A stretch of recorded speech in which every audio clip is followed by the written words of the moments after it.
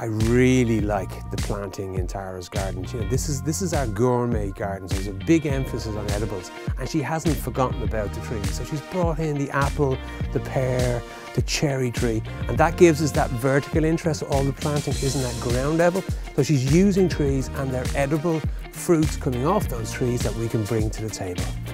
The density and the mix of edibles and non-edibles and heights and textures and structures this is really well considered. Probably the best bit of planting in all of the show.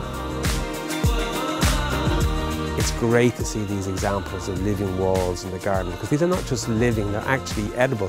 So Tara's demonstrating what you can do in a small space because we all want to grow some of our own veg, some of our own herbs even for cooking. What Tara's done is she's shown us what you can do in a small space. Even if you don't have a garden, if you've got a balcony or you've got a wall, you can grow your edibles on that wall.